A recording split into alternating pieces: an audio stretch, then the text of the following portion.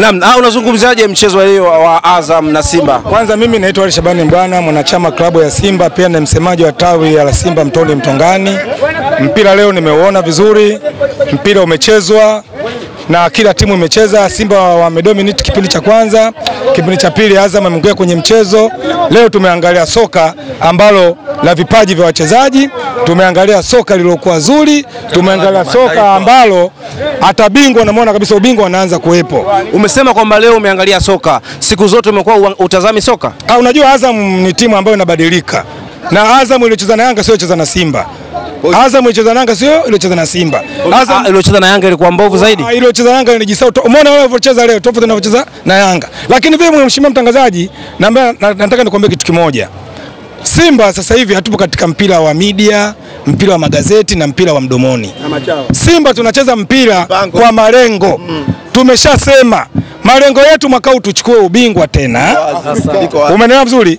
Tumekosa kwa bahati mbaya kuingia nusu kuingia hatua ya makundi klabu bingwa Afrika. Kila mwana wa Simba anasikitika katika hilo, lakini tumeingia hatua ya makundi shirikisho na timu tu, a- na timu tuliocheza nayo ni ya Zambia. Timu ya jeshi ni timu ngumu, tumefuzu kwenye makundi. Lengo letu kufika kucheza fainali, nusu fainali, ikiwezekana hadi fainali. Kwenye dirisha dogo hili la usajili, matamanio yako kikosi cha Simba kiboresho wapi? Ah, matamanio yangu kiboresho wapi? Kwanza tuseme namba tisa, umeelewa vizuri eh? Hamna namba tisa. Eh, namba tisa pale umeona bwana, ati tisa lazima ongeze iongezwe nguvu. playmaker, umeona? Alafu apatikane kiungo mchezeshaji kiungo mchezeshaji bado kidogo, umeelewa vizuri? Ina maana kuna nafasi ya tatu, hebu nisaidieni ndugu zangu. Na- beki mmoja. Yaani na- na beki namba tano eh?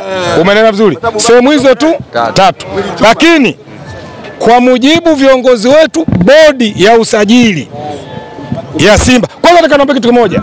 Bajeti ya Simba sasa hivi ni zaidi ya bilioni 11 au 12. Bajeti ya klabu ya Simba kwa mwaka. Dirisha dogo tu. Au No, mwaka. kwa mwaka bajeti. Dirisha dogo hili mtakuja kuona vyuma vinavyo vitakavyoingia. Hatuingizi mchezaji, eh, hatusajili kwa sababu eti kushindana na Yanga au na nani. Tunasajili kwa sababu ya kuchukua ubingwa wa mara tano. Lakini Duncan Nyoni pia alisajiliwa kwa ajili ya kuchukua ubingwa. Ah, Duncan Nyoni kama Duncan Nyoni. Duncan Nyoni unajua kuna wachezaji ambao ni mchezaji mzuri kwanza, lakini inaonekana ameshindwa kuingia kwenye mfumo mapema. Na sisi na timu sasa hivi iko spidi. Tuko spidi sana. Lakini tunakuja kwa nini iko hivi? Kwa mfano kama sasa hivi watu wanazungumza habari ya Chama. Binafsi Simba sasa hivi haimhitaji Chama. Kwanza Chama si mchezaji wetu. Umeelewa vizuri? Chama sio mchezaji wetu. Nisiki- hapo Nisikilizeni.